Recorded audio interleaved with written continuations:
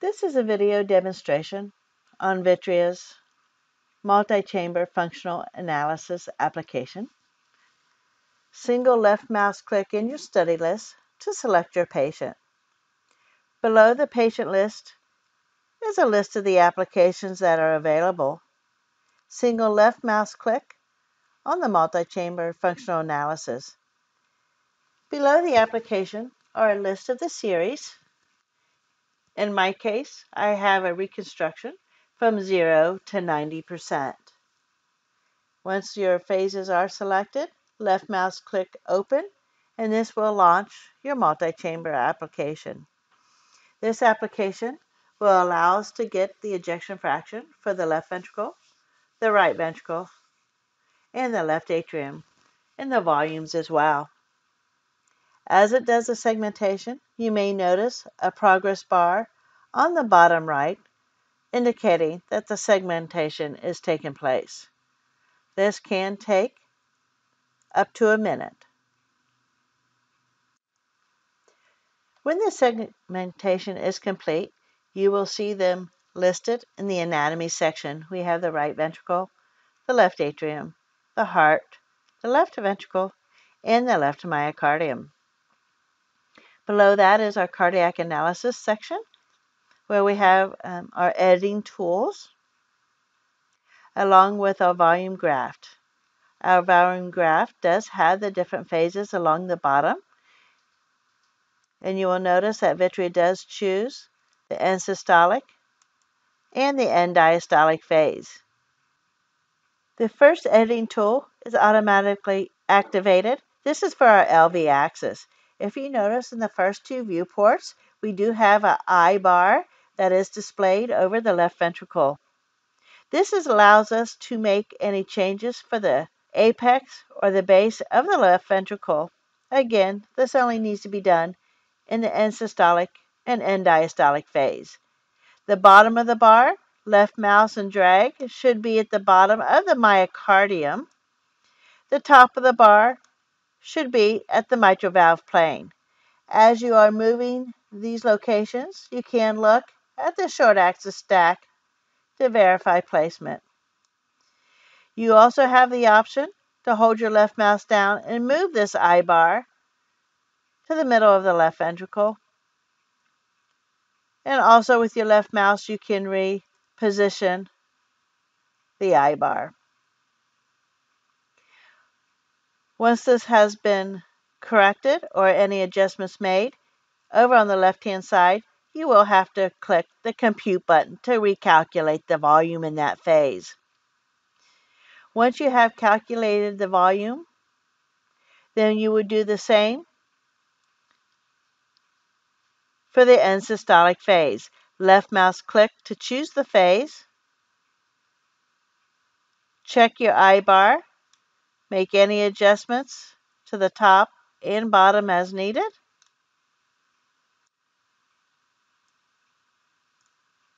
and come back over to the left hand side to hit compute.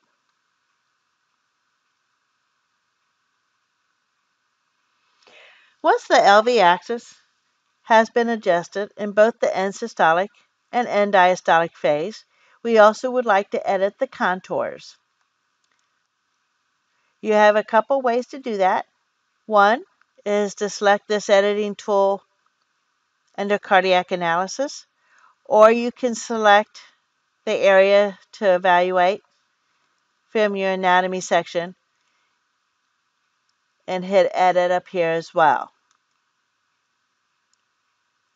Once you select edit in either one of these locations, you will get an edit LV pop-up bar. And you will notice that your mouse has turned to a pencil. You can make your edits in any viewport, I am going to choose my short axis stack. Using uh, the magnifying glass from my main toolbar, I'm going to select that with my left mouse just to enlarge my images uh, just a little bit to make it a little bit easier for the editing. As I use my middle mouse to scroll, left mouse and hold down to make any edits to the contours as I see fit. Once your edits are complete, come up to that pop-up box and hit apply. Remember, we want to make these changes in both the end systolic and the end diastolic phase as well.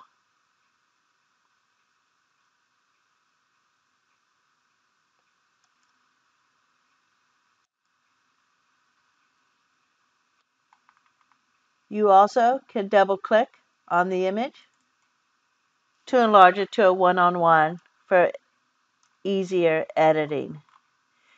You will notice that Vitrea does segment out the papillary muscles.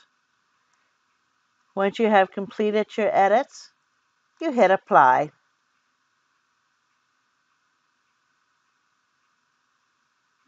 And I'm going to double click to go back down to my 4 on 1.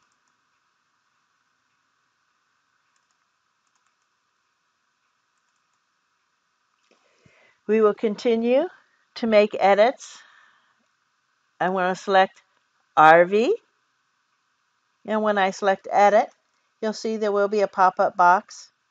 And you'll see I do have my red outline on my RV. You will do this again on the end systolic and end diastolic phase only. Middle mouse to scroll. Hold your left mouse down to make any edits.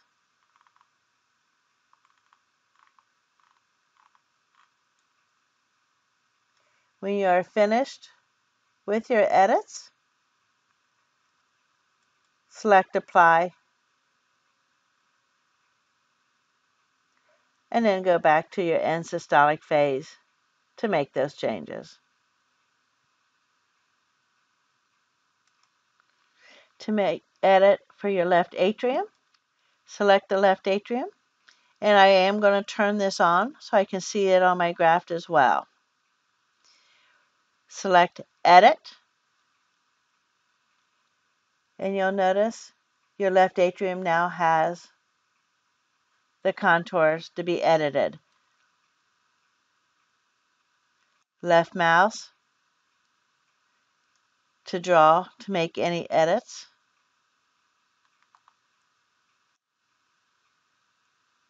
as needed and then hit apply.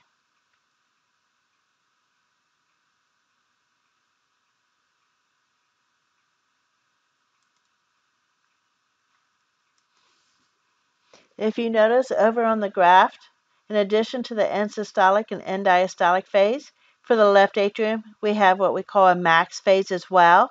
It is recommended, in addition to making edits for the left atrium in the end systolic and end diastolic phase, that you also check your edit contours for the max phase as well. Once your contours have been um, checked and verified, you can save a picture of this volume graph by clicking on the arrow above the graph to take a snapshot of that graph or copy the graph to your clipboard. Below the graph, you have the options to put in the patient's height and weight. In this patient, I'm going to put 6 feet 2 inches and I am going to uh, select 215 pounds. This will allow us to index our results. The heart rate was brought over from the scanner and the DICOM results. The ejection fraction and your volumes, your stroke volumes are located in the table down here, the bottom of the column. There is an arrow pointing to the right. By selecting this arrow, it will put the results over into our active viewport. By selecting the drop-down arrow next to more results, you will see the body surface area has been calculated based on the height and the weight of the patient, along with displaying the myocardial mass and the LV-RV regurgitation fraction, which displays the difference of percent between the left and right ventricle. To index the result based on surface area, there is a button in this results called Index. And then we can now see our images are indexed.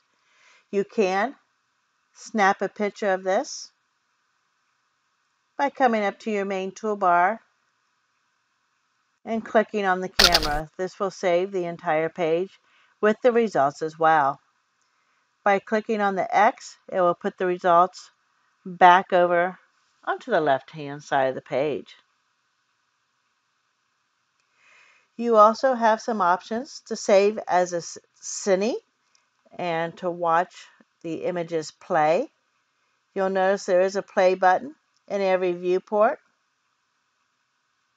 along with being in the main toolbar as well. By selecting the play button, you can see that in all three cardiac views and the 3D image is playing a cine loop. Below the play button is a speed button if you want to slow it down or if you would like to turn off the 3D. I am going to hit pause. If you would like to save this as a batched cine, whichever viewport you would like to batch, double click to make it a one-on-one. -on -one. And then on your right click menu, we do have batch 4D Cine. The preview is very quick, but at the top. If you would like to batch the two chamber and short axis, come to the top of this viewport and select the rotate MPR button. This now takes us to our short axis view where I can do a right mouse click and batch that as well.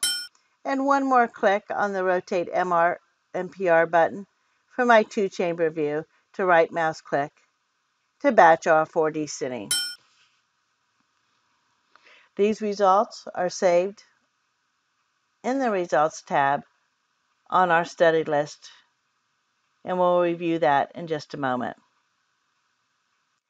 I also would like to show you, in addition to the information we have obtained on the left-hand side, we do generate a report. At the top right, if you left mouse click on Report Editor, it does open a third tab. And you can see that this is a full report that does have all the information listed, the left ventricle, the right ventricle, the left atrium, it also gives you the myocardial mass along with the volume chart and a bullseye um, display of the wall motion. Below the page, if you hit publish, this will save a copy of this report into the results tab as well, so this can be sent to PACS. When you're finished with the report, you can close the report editor and I am going to double click to go back down to my 4-on-1 view. I do like to point out on the left hand side at the top we do have a couple different layouts. We are currently on the cardiac 4 up but you can see that we can also display this where we see a few more short axis stacks. This particular one will show you that wall motion that's on the report.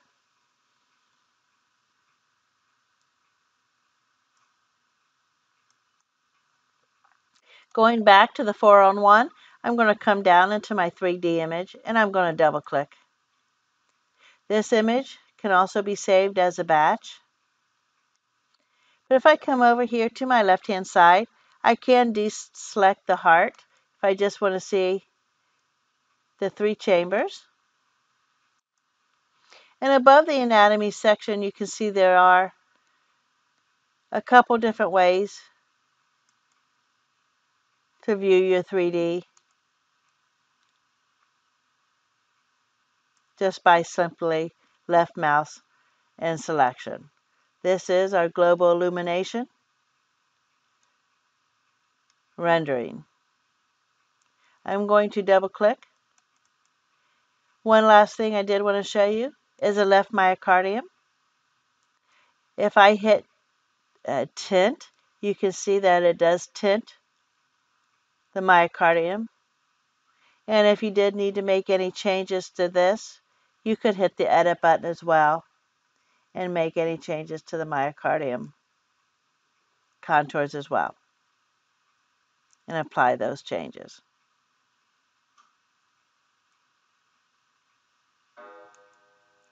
When you're finished, you can close the application by clicking on the X. All the results and all the batches are saved underneath the results file. To view these results as images, bringing your mouse over to the right hand side, you can select on images and you can see our Cine images, our report, and our graph. Single click to highlight to send uh, to PACS by holding the control. You can select multiple series to send to PACS. Once they're selected, you do a right mouse click to open your export page. There is a, your destination uh, will be listed here. And you can select export and it will send those images to PACS. This concludes the video for multi-chamber functional analysis within the Vitrea.